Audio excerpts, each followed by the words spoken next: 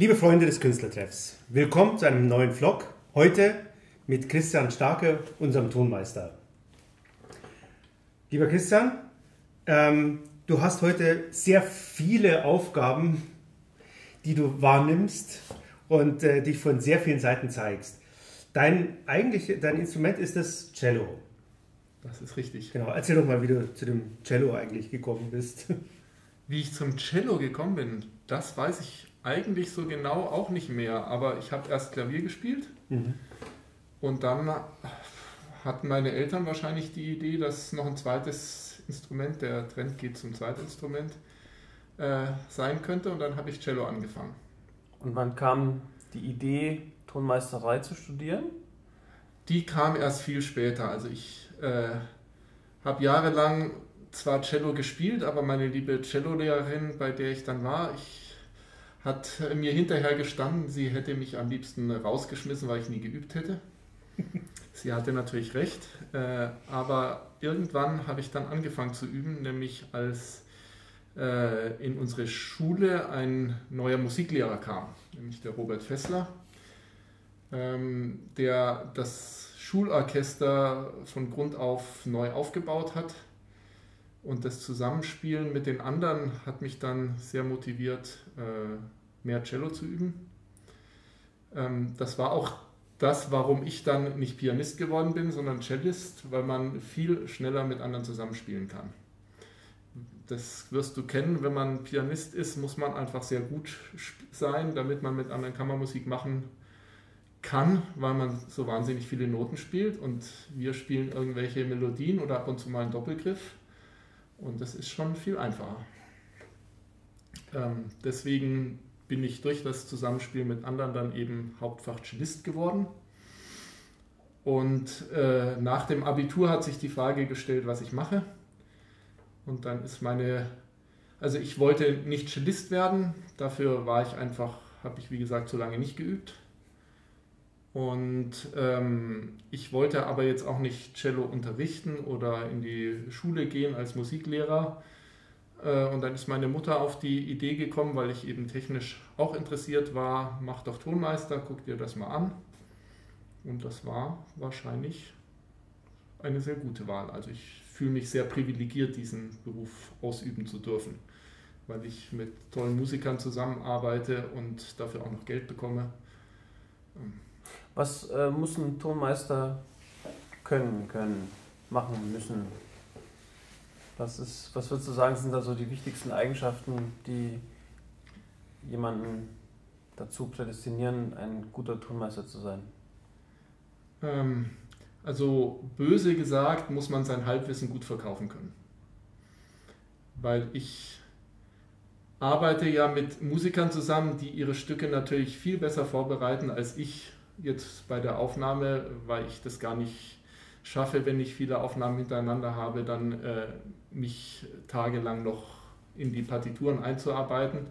Aber ich muss dann von dem, was ich höre von den Musikern im Vergleich mit der Partitur relativ schnell mhm. mitkriegen, ähm, wo es vielleicht noch hakt, wo irgendwelche Übergänge nicht stimmen. Meistens merkt man auch, wo das Ensemble sich nicht einig ist ähm, sehr schnell und das sind die Sachen, die ich halt dann anspreche. Die Lösung muss aber zum Glück nicht ich finden, sondern ich kann dann zwar Vorschläge machen, aber das wisst ihr ja auch, dass ihr dann sagt, ja, lass ihn reden.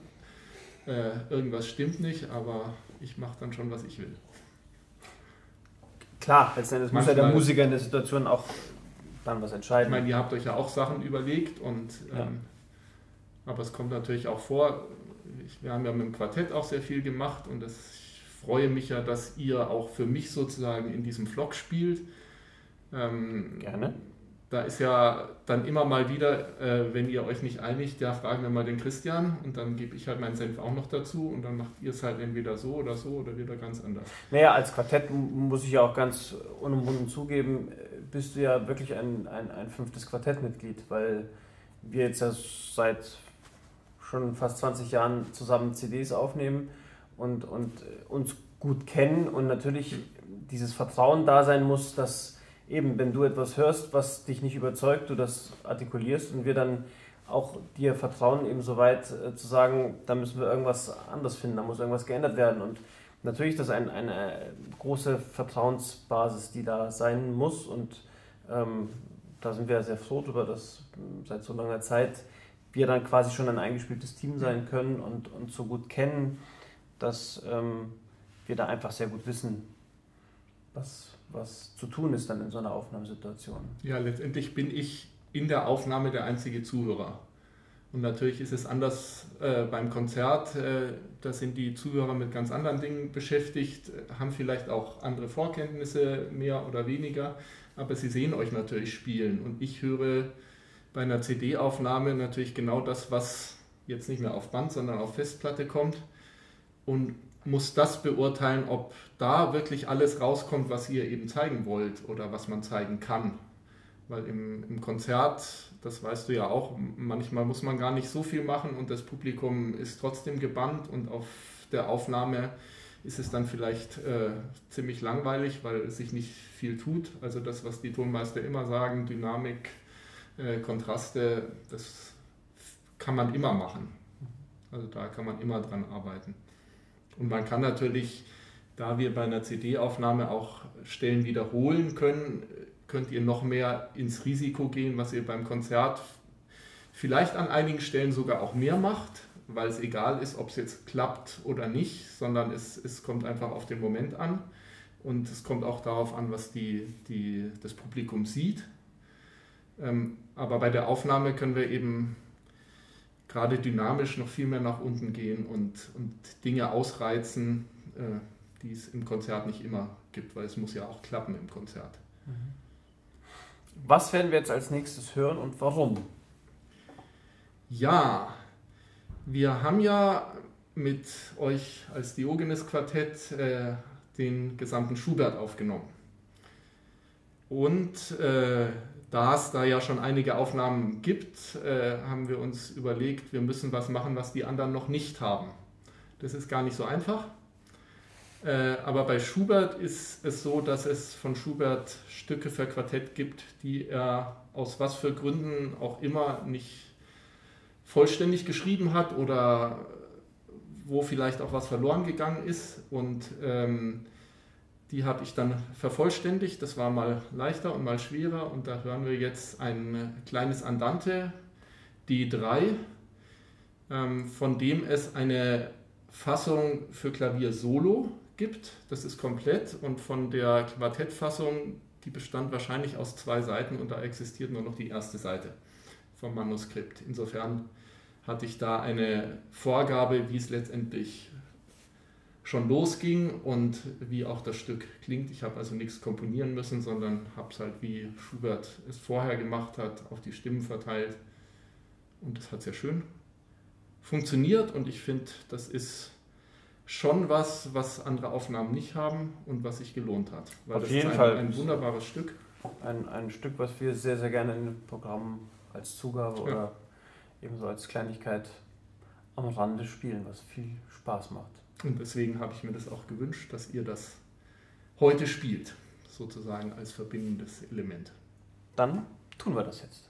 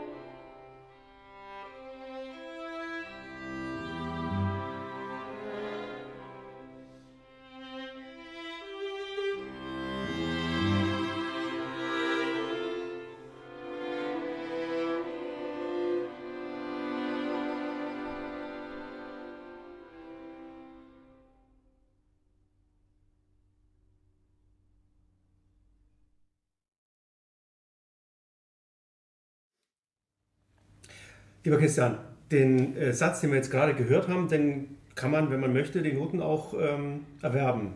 Das ist richtig. Ähm, wie soll ich das sagen? Also ich habe nicht nur für den Schubert, sondern auch aus anderen Anlässen, zum Beispiel als wir Bruchquartette aufgenommen haben, äh, Noten gesetzt, weil wenn es keine Noten gibt oder vor allem keine Partitur gibt, dann könnt ihr vielleicht, wenn es Stimmen gibt, wie zum Beispiel beim Bruch, äh, zwar daraus spielen, aber die Arbeit natürlich in den Proben und auch die Arbeit äh, bei einer Aufnahme ist wahnsinnig erschwert, wenn ich jetzt nur aus einer ersten Geigenstimme dann alles hören soll oder alle vier Stimmen vor mir liegen habe und dann jetzt noch schauen, ach, wer spielt jetzt da und das, das geht eigentlich nicht. Und da mir das Spaß macht, äh, habe ich eben angefangen, dann gewisse Sachen auch zu setzen. Äh, und da es ja schade ist, wenn ich das jetzt nur für eine Aufnahme mache, habe ich halt irgendwann den Kammermusikverlag gefunden. Das ist ein Verlag, der sehr viel unbekannte Kammermusik im Programm hat, die eben sonst kein großer Verlag drucken will. Und ist im Prinzip auch ein, eine Art Print-on-Demand-Verlag, äh, wo eben, wenn jemand das bestellt, dann wird es gedruckt und dann wird es versendet. Ähm, und da habe ich ganz am Anfang äh, erstmal den Bruch rausgegeben und dann eben diese Schubert-Sätze. Und da ich früher auch noch in einer Zeitschrift, die hieß Ensemble, Artikel geschrieben habe, das war eine Kammermusikzeitschrift, äh, dort habe ich immer geschrieben über Komponisten, die gerade ein Jubiläum hatten, war irgendwann Reinberger dran. Der hatte äh, 2014 175. Geburtstag.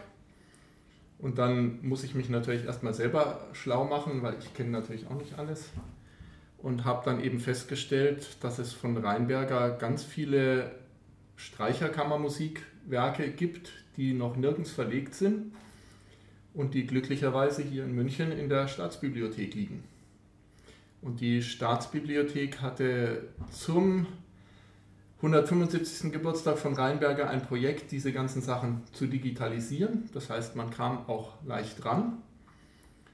Und dann habe ich Kontakt aufgenommen zur Rheinberger Gesellschaft, ob die das nicht irgendwie fördern. Und die haben dann tatsächlich zwei Stiftungen gefunden, die äh, mir ein bisschen was dafür gezahlt haben. Und dann haben wir insgesamt, glaube ich, zehn Bände mit Jugendwerken von Rheinberger ähm, herausgegeben, wovon wir ja auch gleich noch eins hören. Und inzwischen sind daneben Rheinberger und Schubert ist noch ein ganzer Stapel von anderen Werken entstanden, entweder für Aufnahmen oder wenn ich mal Zeit und Lust hatte und habe irgendwas gefunden, dann habe ich das halt gemacht oder ich arrangiere mal was. Wir haben ja zum Beispiel Rega Klarinettenquintett aufgenommen und da hatte Rega selber vor, äh, ja, eine Streichquintettfassung zu machen und hat das aber nicht mehr geschafft, weil er gestorben ist. Und dann haben wir uns letztendlich auch zusammen dran gesetzt, was man irgendwie wie legen kann weil wenn nur eine Solo-Bratsche sozusagen die Klarinettenstimme spielt, dann ist das immer irgendwie sehr hoch und wirklich nur für einen Solisten und kommt jetzt irgendwie diesem kammermusikalischen Ansatz des Werks eigentlich nicht oder wird dem nicht so gerecht. Und solche Sachen mache ich dann einfach auch, wenn ich Zeit habe, weil es mir Spaß macht. Würdest du denn sagen, dass das ähm, alle Tonmeister machen? Also gehört das zum Tonmeisterberuf, zur Ausbildung, zu all dem dazu? Oder nee. ist das, weil das ein Steckenpferd auch von dir ist? Nee, das hat mit, mit der Tonmeisterei eigentlich gar nichts zu tun, mhm. sondern ich hatte immer schon Interesse daran, Werke zu finden, die es nicht gibt bisher oder die unbekannt sind. Wir haben ja auch oder nehmen gerade äh, Gernsheim-Quartette auf. Friedrich Gernsheim äh, kannte vor ein paar Jahren auch noch keiner. Inzwischen sind seine vier Sinfonien zweimal aufgenommen und äh, die Violinsonaten alle auch zweimal, einmal mit euch. Ähm, oder wir haben Weinberg entdeckt, noch lange irgendwie bevor Gidon Kremer äh, plötzlich angefangen hat, ihn aufzunehmen. Ähm, und solche Sachen interessieren mich einfach, Musik so am Rande des Kanons zu finden, die, wo man sich eigentlich fragt, warum sie da ist. Zum Beispiel, wie wir äh, das letzte Gernsheim-Quartett und das Quintett, was auch mit zwei Celli ist, äh, aufgenommen haben und das so grandiose Stücke sind, dass die eigentlich regelmäßig in Konzerten gespielt werden müssten. Aber es gibt, äh, bis unsere Aufnahme erscheint, wahrscheinlich keine andere.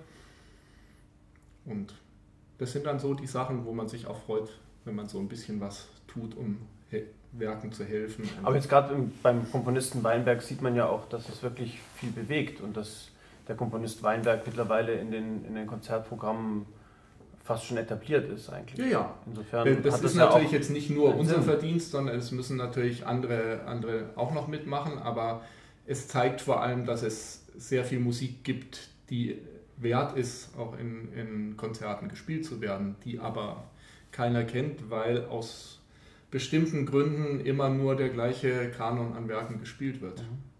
Ich meine, das habt ihr ja wahrscheinlich äh, beide das Problem mit äh, Veranstaltern, auch wenn ihr jetzt unbekannte Namen ihnen vorschlagt, dann fragen die erstmal, ist der modern, äh, kann man den dem, zu, dem Publikum zumuten und ich meine, die müssen ihre Karten verkaufen und wenn das Publikum auch niemanden kennt, dann kommen sie vielleicht nicht. Jetzt zurück zum Rheinberger. Was spielen wir jetzt zusammen? Ich freut uns ja sehr, dass wir jetzt als Quintett gleich auftreten werden. Das ist ja auch eine Premiere. Das ist eine Premiere. Und was hast du dir da ausgesucht? Ähm, ja, es gibt von Rheinberger einerseits eine große Anzahl von Jugendwerken, weil das Komponieren von Streichquartetten, Quintett äh, gehörte zur Ausbildung, also gehört jetzt immer noch und ich weiß nicht, wann es angefangen hat, aber das hat wahrscheinlich so Anfang des 19. Äh, Jahrhunderts angefangen, dass jeder Streichquartette komponieren muss, der ein Komponist werden will. Und das hat der Rheinberger selber gemacht und irgendwann äh, wurde der Rheinberger dann selber Lehrer, auch hier in München an, der, an den Vor Vorgängern der Hochschule und hat dann eine Kontrapunktklasse geleitet und für diese Kontrapunktklasse hat er Modellkompositionen geschrieben wo er den Leuten halt dann gesagt hat, so wird es gemacht, erstes, zweites, drittes Thema. Äh, und das hat er immer alles für Streicher gesetzt. Da gibt es Streichquartette, es gibt Streichtrio, es gibt sogar eine fünfstimmige Fuge für Streichsextett. Die hätte ich natürlich am liebsten hier gemacht, aber da hätten wir noch eine Bratsche engagieren müssen. Und dann gibt es eben äh, einen ganzen Band mit äh, Fugen für Streichquintett in der Besetzung mit zwei Celli und das hat natürlich wunderbar gepackt. Und wahrscheinlich, äh, da davon nur in einem Konvolut von Kontrapunktwerken in der Staatsbibliothek äh, eine Partitur existierte und keine Stimmen, hören wir heute die Uraufführung dieses Werks. Der Fuge in F-Moll. Wie Werk ohne Opus 91.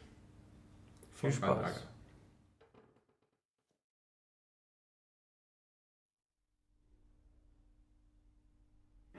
Thank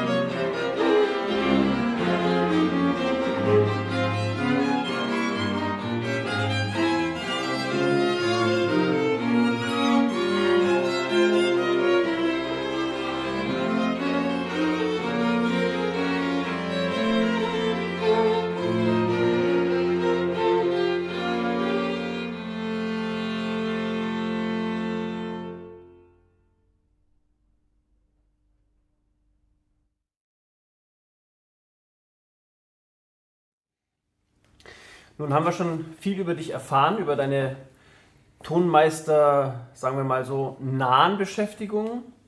Was, ähm, glaube ich, unbedingt erwähnt noch gehört, weil das ja natürlich dich als Tonmeister auch sehr äh, betrifft, äh, ist der Kurs, den du äh, einmal im Jahr gibst. Der ist in Bad Homburg, wenn mich nicht alles mhm. täuscht. Willst du einmal kurz erzählen, was ihr da macht, weil das natürlich schon ein sehr besonderes Format ist und eigentlich, ähm, finde ich, in der gerade Kammermusikausbildung ähm, einen eigentlich viel wichtigeren Platz einnehmen müsste für die Ensembles, für die Jungen, als es generell tut. Jetzt bei euch natürlich mhm. nicht. Also das Einzigartige daran ist im Prinzip, dass die Ensembles aufgenommen werden und dann aber nicht nur mit mir darüber sprechen, sondern auch noch mit einer Kammermusikfachkraft, nämlich mit äh, einem der Professoren von der äh, Hochschule, Musikhochschule in Frankfurt, äh, nämlich entweder mit Angelika Merkle oder mit dem Vogler vom Vogler Quartett. Und wenn die Ensembles spielen und sich aufnehmen lassen und sich dann anhören müssen, gibt es natürlich nicht die Ausreden, ja, aber das habe ich doch gemacht und äh, das hat doch alles geklappt, wie es vielleicht im Unterricht sonst ist, weil man das Gefühl hat, man war äh, sehr gut, sondern die Ensembles hören natürlich erstmal selber schon, was alles nicht geklappt hat und wo sie gedacht haben, es funktioniert viel besser.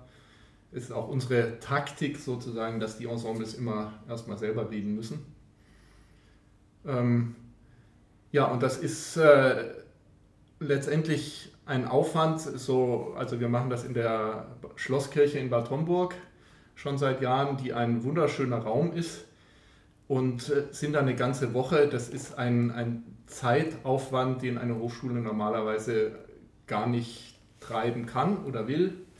Insofern äh, ist das für die Ensembles, die da in Frankfurt studieren. Da gibt es äh, seit ein paar Jahren einen Kammermusik-Masterstudiengang, sodass wir auch ein sehr hohes Niveau dort haben und wirklich auf einem sehr hohen Niveau auch arbeiten können an den Interpretationen. Äh, für die ist das was ganz Besonderes und wir sind jedes Mal ausgebucht. Wir sind natürlich auch frei für Ensembles von anderen Hochschulen oder äh, wo auch immer her, aber meistens haben wir schon so viele Anmeldungen, dass wir gar nicht mehr brauchen. Mhm. Ja, ist eine, eine tolle Sache und ich würde mich freuen natürlich, wenn es da mehr Angebote in diese Richtung gäbe, weil ich aus eigener Erfahrung natürlich weiß, wie groß der Unterschied ist zwischen dem Hören im Ensemble drin beim Spielen und dem Hören nachher auf einem Band, das dann ganz nüchtern ist. Das ist natürlich ein, ein, ein Riesenunterschied, weil man ja, wenn man emotional Musik macht, man das ja alles mitlebt und, und viele Dinge nicht so gut wahrnehmen kann, auch vor allem in der Balance eben gerade, was jetzt die, die, die Balanceunterschiede oder die, die Dynamikunterschiede angeht, diese, das gar nicht so sehr merken kann. Wie, ja, oder Artikulation oder, oder Vibrato oder was, was auch immer, ja. wo man eben vielleicht auch noch ein bisschen mehr darauf fokussiert werden muss. Ja. Und ich meine, da muss ich natürlich auch den, den Hubert Buchberger erwähnen, den ihr ja auch gut kennt, äh, mit dem ich und seinem, mit seinem Quartett und ihm ich alle Heidenquartette aufgenommen habe und der diesen Kurs ursprünglich als ganz normalen äh, Kammermusik Meisterkurs gemacht hat, wo er immer irgendwelche Größen der Kammermusik eingeladen hat und dann irgendwann eben diese Idee hatte, ähm, Christian, hast du nicht Lust, machen wir das so, das, das gibt es nicht und das, ich glaube, das wäre was, äh, was man mal machen müsste oder ausprobieren müsste, äh, was sehr erfolgreich sein kann. Und da bin ich ihm natürlich sehr dankbar, dass ich das jetzt schon, ich weiß nicht wie lange mache, seit über zehn Jahren. Also großartige Sache. Toll. Jetzt haben wir dich schon kennengelernt als natürlich Tonmeister, als Cellist. Es wird ja nachher noch eine kleine Überraschung geben sozusagen, wenn wir dich noch an einem anderen Instrument kennenlernen. Nicht nur mich. Genau. Äh, als Notenherausgeber eben oder als Notensetzer und Herausgeber. Jetzt hast du hier noch was ganz Tolles mitgebracht, was du auch machst, was jetzt nun wirklich dann mit der Tonmeisterei gar nichts mehr zu tun hat. Was hast du da vollbracht? Naja, ich habe einen Wanderführer geschrieben. Das hat natürlich mit Musik gar nichts zu tun. Ähm, das kann aber man auch einmal so richtig in die Kamera halten, so wie man das so macht.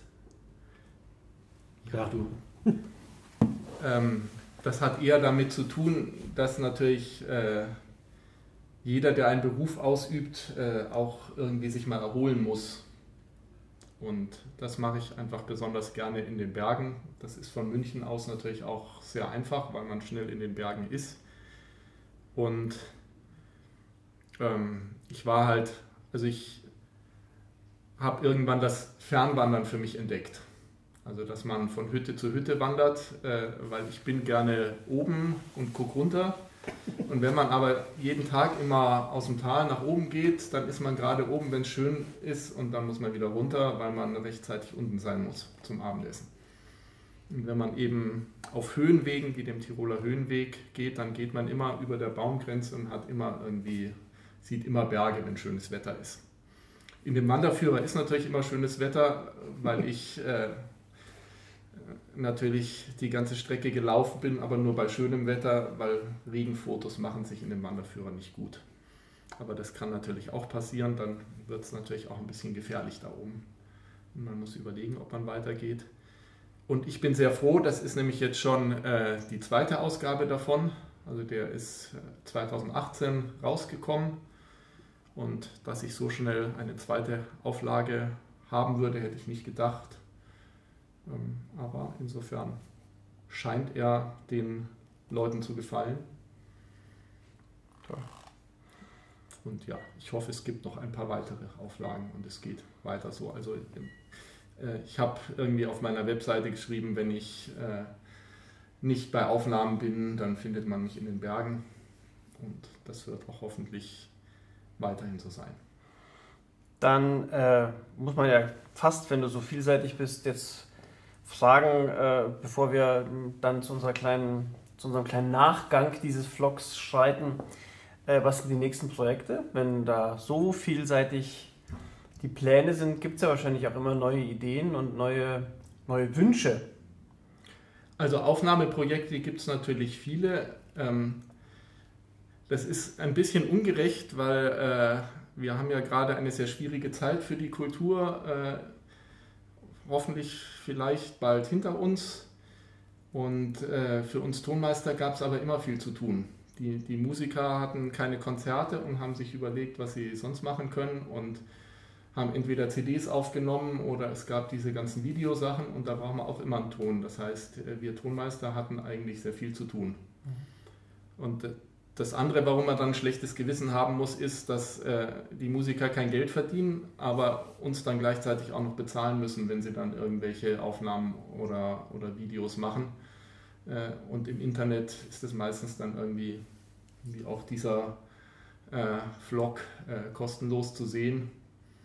Insofern ja, kriege ich das ja mit, wie es euch ging, aber habe selber eigentlich sehr viel zu tun gehabt. Und insofern gibt es da viele Projekte. Einen neuen Wanderführer werde ich nicht schreiben. Das ist für jemanden, der das nicht berufsmäßig macht mit dem Schreiben, ist das wahnsinnig viel Aufwand, weil er natürlich alles drei, viermal schreibt und äh, nachprüft und kein Rezept hat, nach dem er vorgeht, sondern alle Erfahrungen und Fehler erstmal selber machen muss. Mhm. Und ich bin ganz gut damit beschäftigt, den aktuell zu halten und will auch andere Sachen noch sehen, aber ohne darüber schreiben zu müssen.